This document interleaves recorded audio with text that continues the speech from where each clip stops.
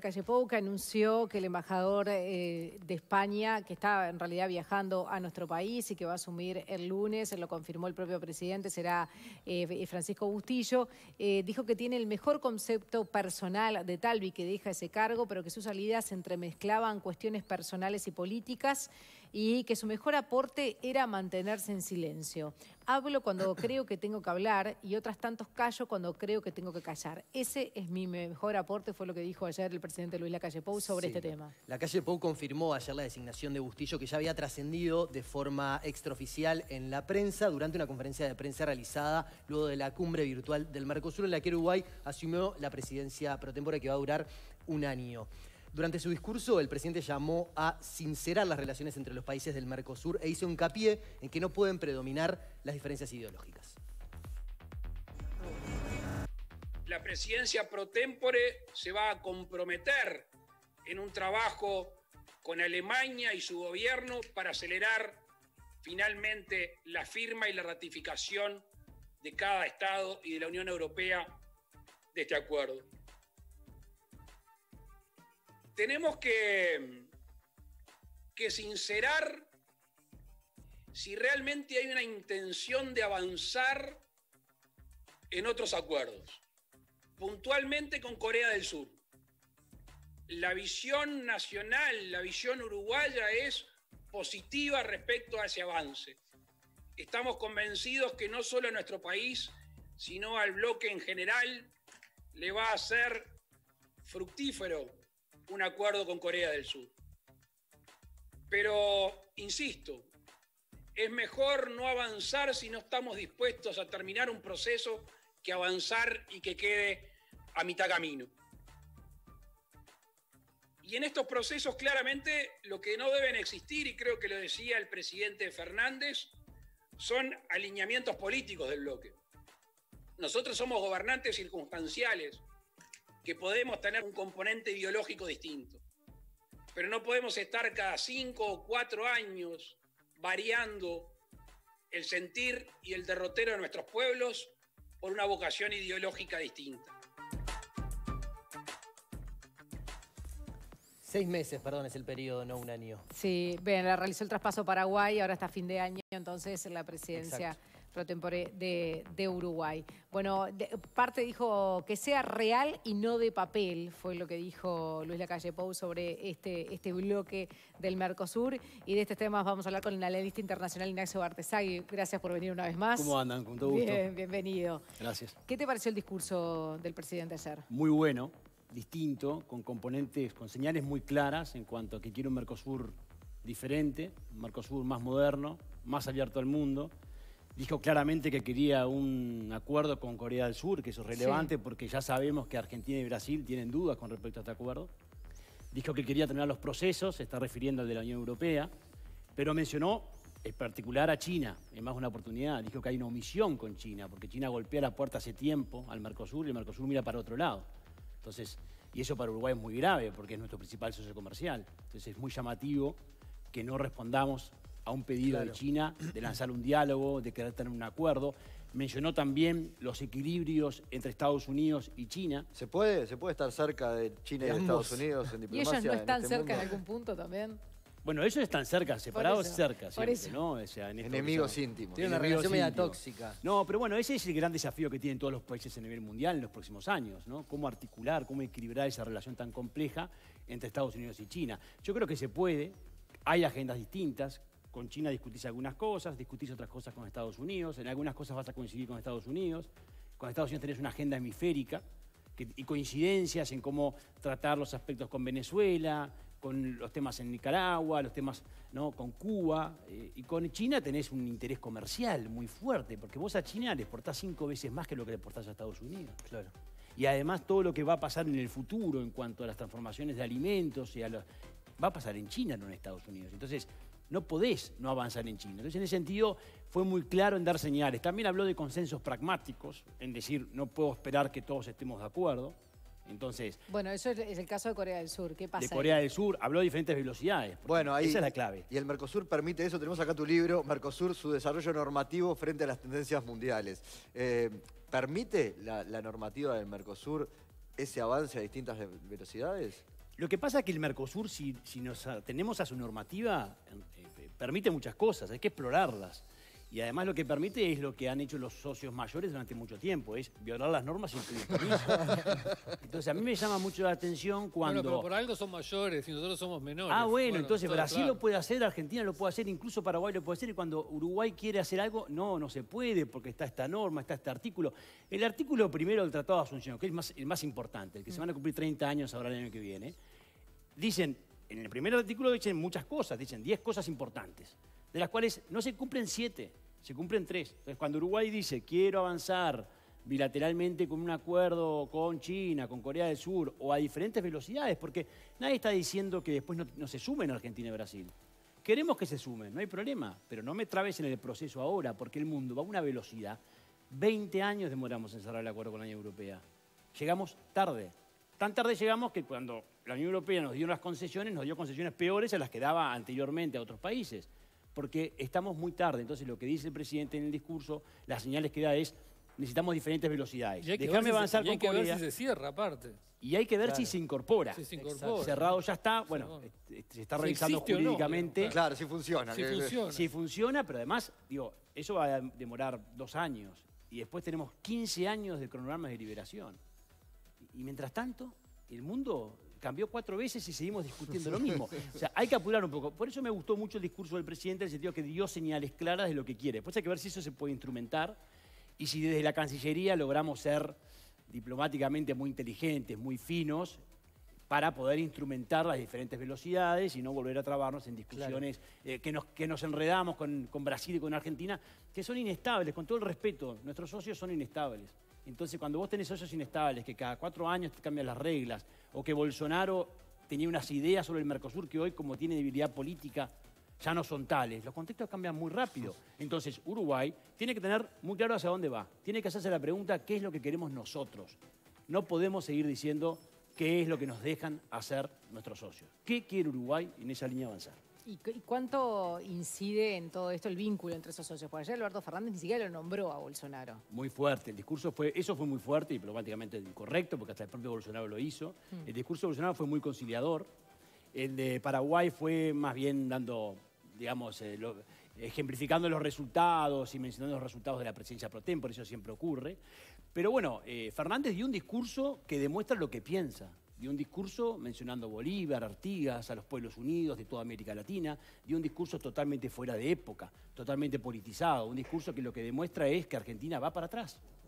Fernández Que no- no no- y que en Uruguay, Sí. lamentablemente, y me parece que algunos en la Cancillería no quieren reconocer que Argentina va para atrás. Y Alberto- te dicen no va a cambiar nada, va a cambiar mucho. Alberto Fernández ayer en su discurso dijo en un momento que la pandemia había expuesto las debilidades que, que tiene la economía mundial.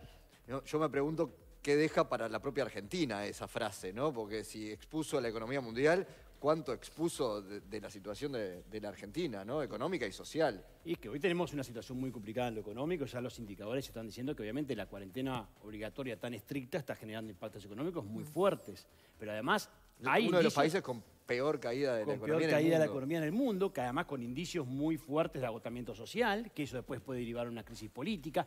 Tenemos en puerta, o ya entró al living, una crisis política en Brasil.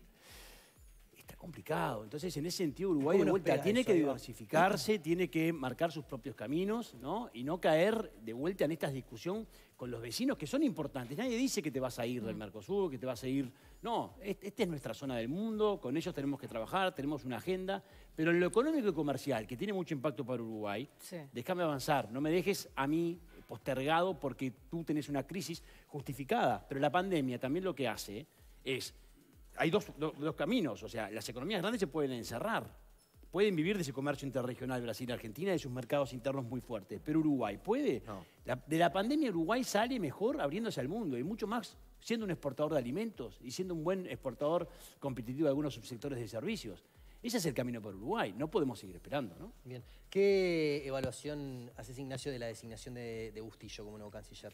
Bueno, primero lamento que, que- que el proyecto que uno tenía como, de Talvi como canciller haya fracasado, porque eh, yo- me gustaba el perfil inicialmente, yo lo dije públicamente en su momento, el perfil de Talvi como canciller me gustaba, era algo distinto, que podía implementar algunos cambios, y bueno, y por diferentes motivos que, que todos sabemos, ese, ese proyecto no, no se dio, se da esta salida un poco particular, no me gusta el tiempo en que se da.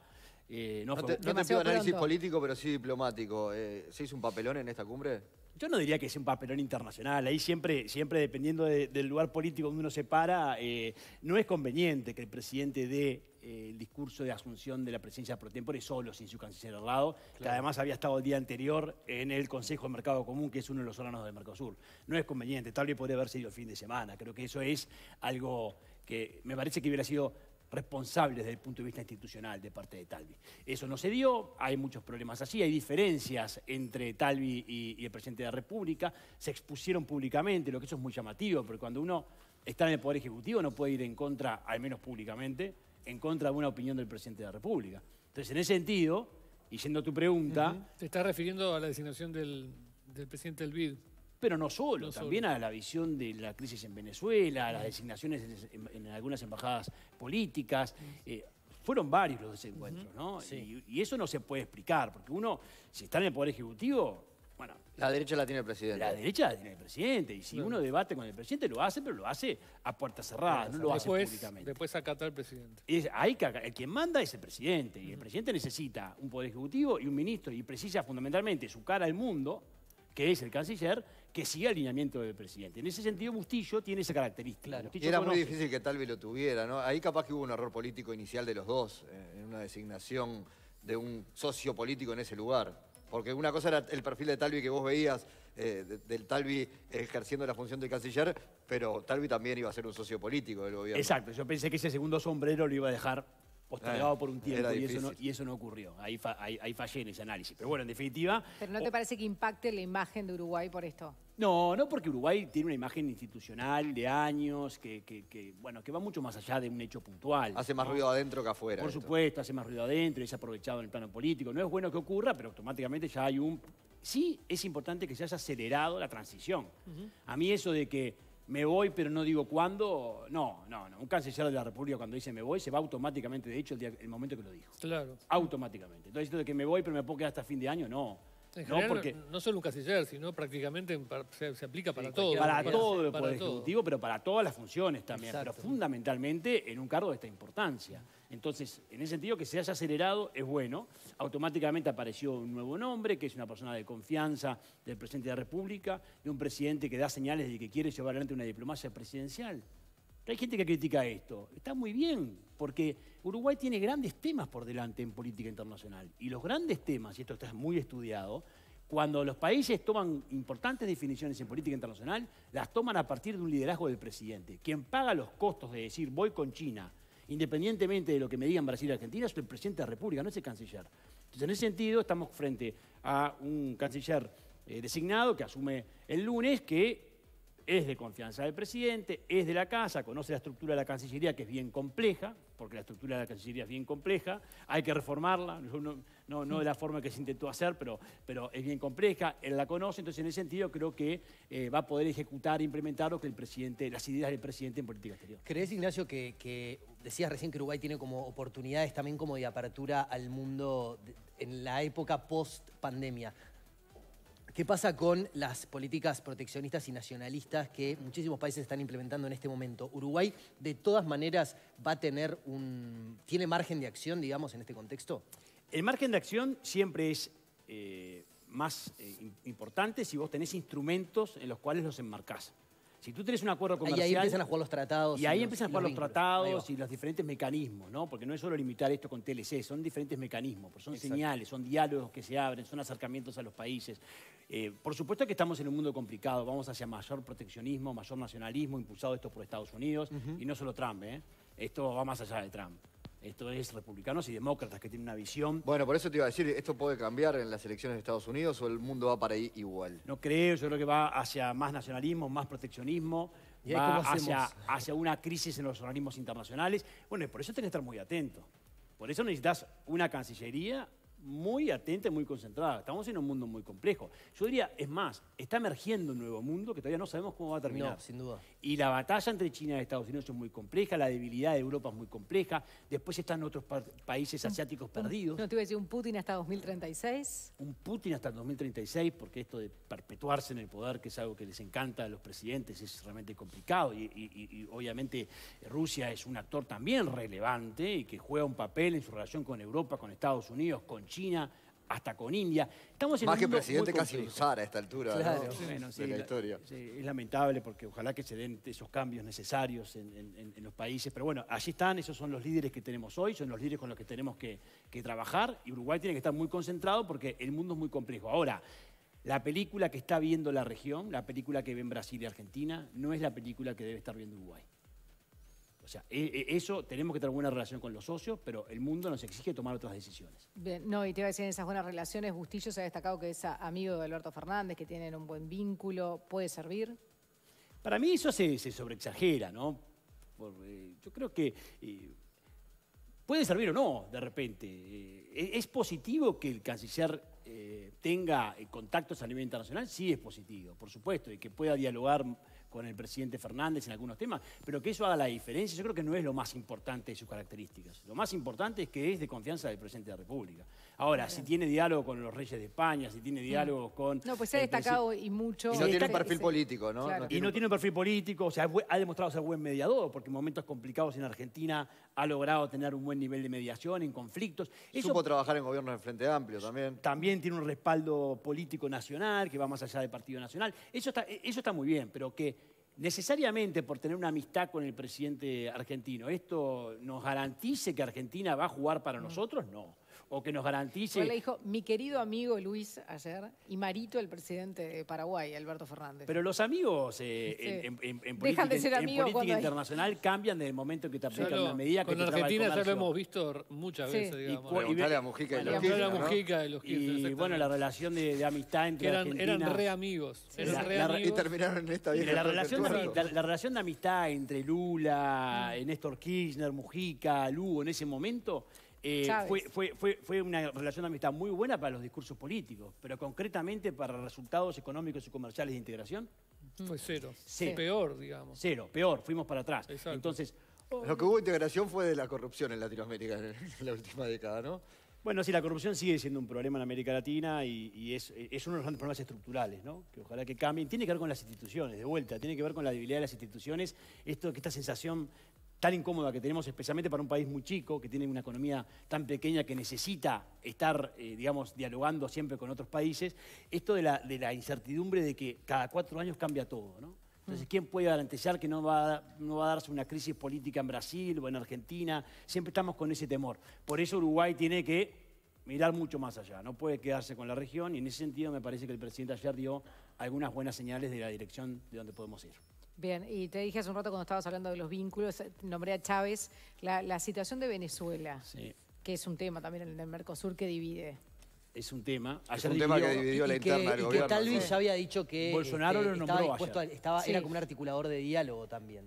Bueno, lo que pasa es que a mí el diálogo con Venezuela, si, si Maduro no quiere dialogar, ya está más que demostrado que no quiere dialogar. Ahora, Entonces, Trump- entonces, hay que ejercer una presión internacional mayor. no, una- estam- una- no estamos pensando en, en- en una invasión militar ni nada por el estilo. Vamos a hablar de inter- no, Pero diplomacia. Trump le soltó la mano ahora a Guaidó en estas últimas semanas si quiere dialogar derecho. Lo que pasa es que Guaidó también perdió cierta, Cierto cierto, peso. interno. Hay, la posición venezolana también es muy compleja y nunca ha logrado tener eh, la representatividad necesaria para poder generar los cambios. Eso, también es cierto. El problema en Venezuela es mucho mayor.